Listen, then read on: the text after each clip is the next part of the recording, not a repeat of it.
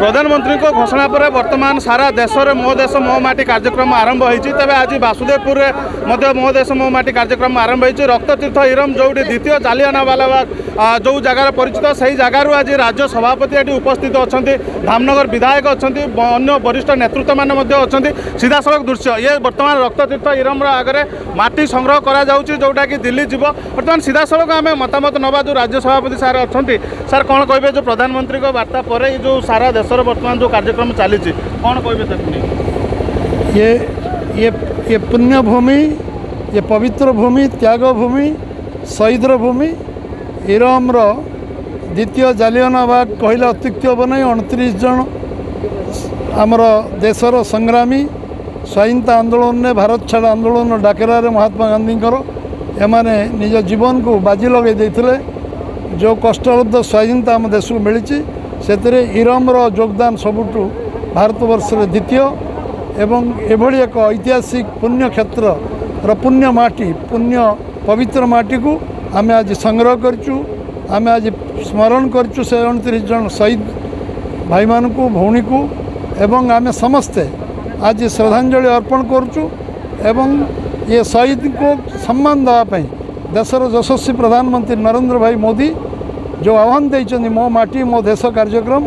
ଇଏ ପବିତ୍ର ମାଟି ପୁଣ୍ୟ ମାଟି ଦିଲ୍ଲୀ ଯିବ ଏବଂ ଦିଲ୍ଲୀର ସ୍ମୃତି ଚିହ୍ନ ସେଠି ହେବ ଅମୃତ ବଟିକା ତିଆରି ହେବ ସେ ପ୍ରେରଣାର କେନ୍ଦ୍ରବିନ୍ଦୁ ହେବ ସମସ୍ତଙ୍କର ବିଶ୍ୱାସର କେନ୍ଦ୍ରବିନ୍ଦୁ ହେବ ସମସ୍ତଙ୍କ ଆତ୍ମବିଶ୍ୱାସର କେନ୍ଦ୍ରବିନ୍ଦୁ ହେବ ତ୍ୟାଗ ତପସ୍ୟା ସାଧନାର କେନ୍ଦ୍ରବିନ୍ଦୁ ହେବ ଏବଂ ସମସ୍ତେ ଆଜି ଆମେ ଆମ ଜିଲ୍ଲାର ଯଶସ୍ୱୀ ବିଧାୟକ ସୁର- ସୁରଜ ସୂର୍ଯ୍ୟବଂଶୀ ଆମ ଦଳର ସଭାପତି ହେମନ୍ତ ପାଢ଼ୀ ଆମର ରାଜ୍ୟର ସମ୍ପାଦକ ଅଭିମନ୍ୟୁ ସେଠୀ ଏବଂ ଆମ ରାଜ୍ୟ ଆମ ଜିଲ୍ଲା ସମ୍ପାଦିକା ସମସ୍ତେ ଆଜି ଆମେ ସମସ୍ତେ ଏଇଠି ଏକଜୁଟ ହେଇଛୁ ଜଗନ୍ନାଥ ଦାସ ଆମ ରାଜ୍ୟ କାର୍ଯ୍ୟକାରୀ କମିଟି ସଦସ୍ୟ ବାପୁନି ମଲ୍ଲିକ ଆମର ମାଧବ ମାଧବାନନ୍ଦ ମଲ୍ଲିକ ସମସ୍ତେ ଏ ପୁଣ୍ୟ ମାଟି ପବିତ୍ର ମାଟି ପାଇଁ ଆମେ ସମସ୍ତେ ଇରମ ଆସିଥିଲୁ ଏଠିକାର ଜନସାଧାରଣଙ୍କର ଯେଉଁ ଇଏ ମାଟି ପ୍ରତି ଏ କାର୍ଯ୍ୟକ୍ରମ ପ୍ରତି ଯେଉଁ ଅକୁଣ୍ଠ ସହଯୋଗ ଶ୍ରଦ୍ଧା ରହିଲା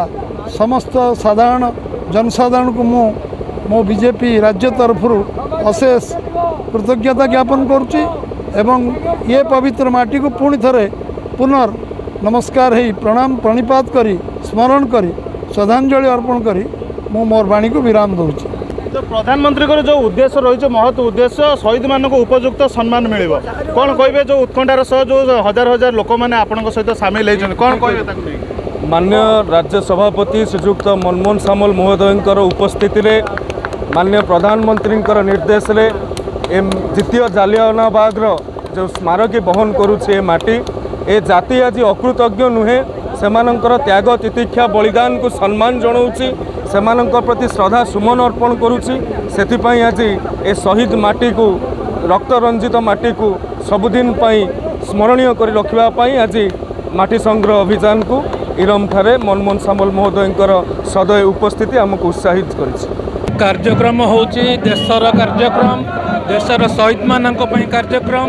ଏଥିରେ କୌଣସି ଦଳ କିମ୍ବା ମତ ଏଥିରେ ନାହିଁ। ଏଥିରେ ସମସ୍ତେ ସବୁ ଦଳର ଲୋକ ନିର୍ବାଦୀୟ ଭାବରେ ଏଥିରେ ଯୋଗ ଦେଉଛନ୍ତି ଦେଶ ପାଇଁ ଯେଉଁମାନେ ବଳିଦାନ କରିଛନ୍ତି ତାଙ୍କୁ ସମ୍ମାନ କରିବା ଏବଂ ଦେଶର ସମ୍ମାନ ପାଇଁ ଲଢ଼େଇ କରିବା ପାଇଁ ସମସ୍ତେ ଆଗକୁ ଆସିଛନ୍ତି ଯେଉଁ ରକ୍ତତୀର୍ଥ ଇରମ ଯେଉଁଠି ଜାଲିଆ ଦ୍ୱିତୀୟ ଜାଲିଆନାବାଗ କୁହାଯାଉଛି ସେଇଠୁ ଆପଣଙ୍କର ଏ ଯେଉଁ ମୋ ମାଟି ମୋ ଦେଶ କାର୍ଯ୍ୟକ୍ରମ ଆରମ୍ଭ ହେଇଛି।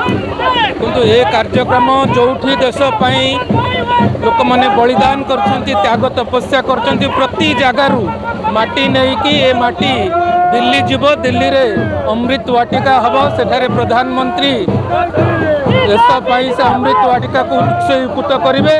ଏ ମାଟି ନିଶ୍ଚିତ ଭାବରେ ଆମେ ସବୁ ଜାଗାରୁ ସଂଗ୍ରହ କରିକି ଦିଲ୍ଲୀ ପଠାଇବୁ। ପ୍ରଧାନମନ୍ତ୍ରୀଙ୍କର ଯେଉଁ ଉଦ୍ଦେଶ୍ୟ ଥିଲା ଶହୀଦମାନଙ୍କୁ ଉପଯୁକ୍ତ ସମ୍ମାନ ମିଳିବ ସେଥିପାଇଁ ଆଜି ବିଜେପି ତରଫରୁ ମୋ ଦେଶ ମୋ ମାଟି କାର୍ଯ୍ୟକ୍ରମ ଏଠାରେ ଆରମ୍ଭ ହୋଇଛି। Vasudevpur Prashant Das Argus news